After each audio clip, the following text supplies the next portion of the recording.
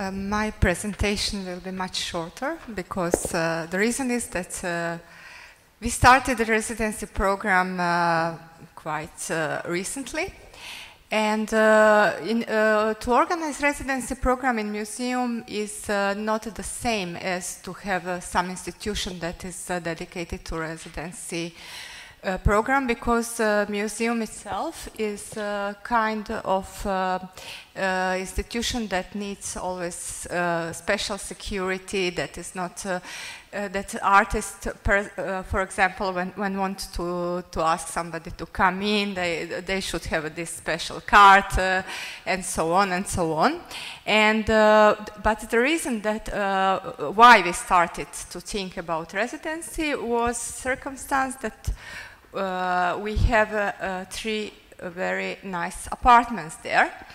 Uh, but uh, uh, I, I, just forgot, I have USB stick, but found in the last moment I wrote it. But never mind, okay, what to do now. I wanted to show you just how museum is looking like, because this is one of, actually one of the oldest museum in uh, not only in Eastern Europe but only uh, on Western. It's, it's done in 1954, uh, but uh, uh, it was no building for permanent collection, and nobody knows how this museum actually is reached till the new building was not built in 2009. And uh, uh, the museum is really huge, it's 14,000 uh, square meter. And uh, including all these spaces for permanent collection, huge depots and uh, storages and and temporary spa space for temporary exhibition, one smaller gallery. It's also multimedia hall. It's also very beautiful uh, and very useful space for uh, uh, with with very professional technical equipment as editing room, studio, cham chamber for sound, etc., etc. And that was very good pla platform platform actually to make something with this, to invite artists to work there, etc. But uh, when we started with this in 2011, we faced uh, many uh, obstacles because, for example, we, we have all these beautiful uh, spaces with, with very expensive, uh, expensive uh, technical ex uh, equipments, but we don't have employers who can work with that. And we always should ask somebody from outside to come and to help, etc and uh, also, uh, but okay, we we are still we try still to to use it and uh, to make effort to to to start to to to work hard with this, but uh, and. Uh, at the beginning, uh, I start to coordinate residency program and very enthusiastically start to apply on uh, City of Zagreb and Ministry of Culture, our usual sponsors of museum, and uh, but uh, realized uh, very soon that uh, it's money that we get is always small, much smaller than one was uh, that was imagined at the beginning. And so all our residencies should be much longer uh, till two months, but as the money was not uh, enough, so we, uh, we decided all the work to, to make project possible, it, it, it was very, uh, very important to organize well, to, to prepare everything before artists coming. All logistic, just when he, he or she comes, everything is prepared uh, and uh, the stay uh, should not be so long and and by I don't know it's by accidents or I don't know why but all artists that we all projects that we have there that uh, for artists uh, was um, they did quite um, exciting projects, I would say. Uh, a project that collaborate with the local community, but uh, on some unusual way. For example, Uh, that was Francesco Jodice, artist from uh, Italy, who wanted to, to, uh, to make a public blog on media facade. Actually, I forgot to tell that uh, artists, when we invite artists, we open all the space they can work on media facade in a no gallery or interact with permanent collection or to do project outside museum.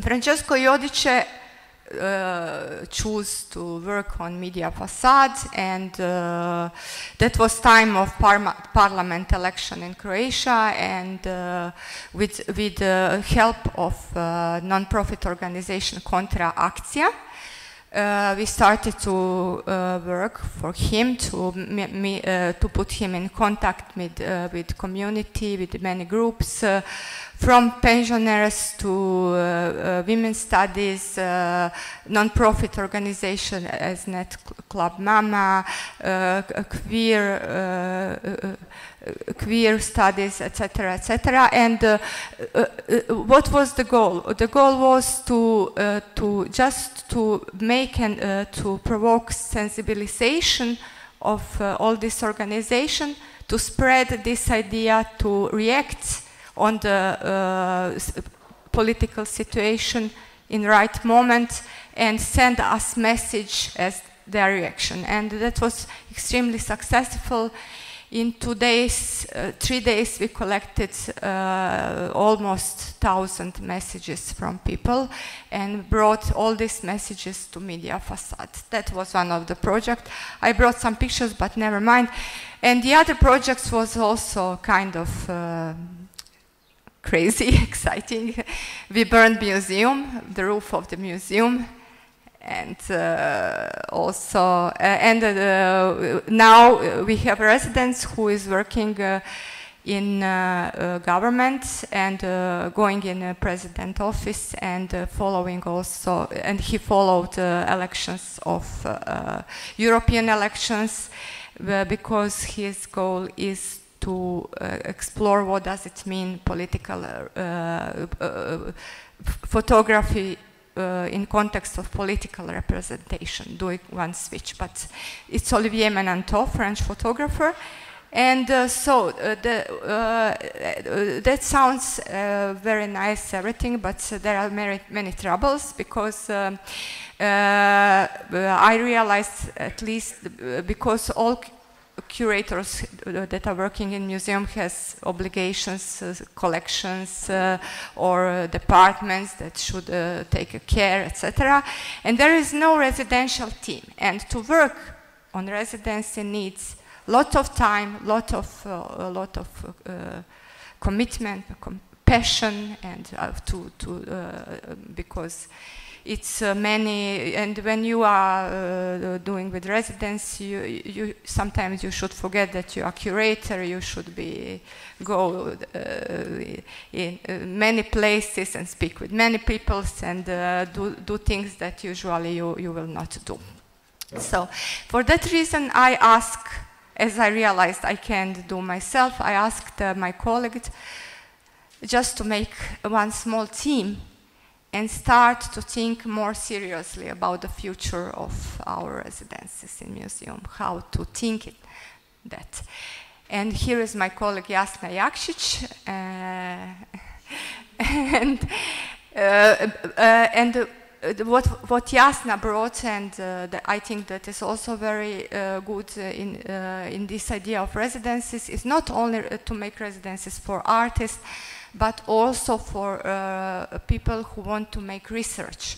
Because our museum has a very good, very beautiful archive, uh, very good de uh, department, or uh, documentary department, with the main uh, main movements uh, from in the 19th century as uh, new tendencies, Gorgona group, new new artistic practice, etc. And uh, and we have also very very good space for that. We have a nice space in the library where where somebody can be very dedicated to research. And also the other idea was uh, to, uh, to invite uh, restorers to come because we have a huge uh, department for restoration and our uh, restorer would like to share experience how to restore contemporary art.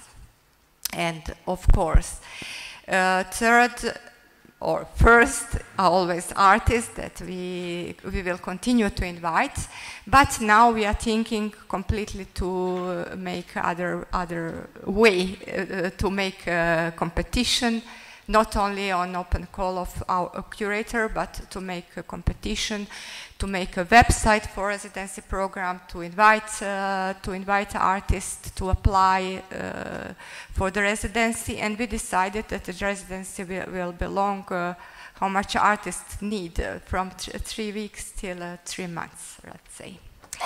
And uh, so I, I brought some, some, some pictures, but I was late because I lost lost my USB stick and so, but you can always go to uh, uh, pages of Museum of Contemporary Art and see how museum is looking like. And uh, we are still very open and uh, uh, we, we um, and I'm very um, happy to be here to, to hear your experiences and also, uh, before our residency, we established partnership with uh, Pogon uh, for their residency because for us was not big deal to offer our apartments for residents. So, uh, and uh, it's about uh, their, their partnership with Schloss in Solitude in Stuttgart. And I'm very curious about artists uh, experience in our apartments that I want to hear as well to know better the problems that they uh, faced. And uh, so I perhaps I forgot something to tell, but if you are interested, we can continue to speak uh, informally. Okay, thank you.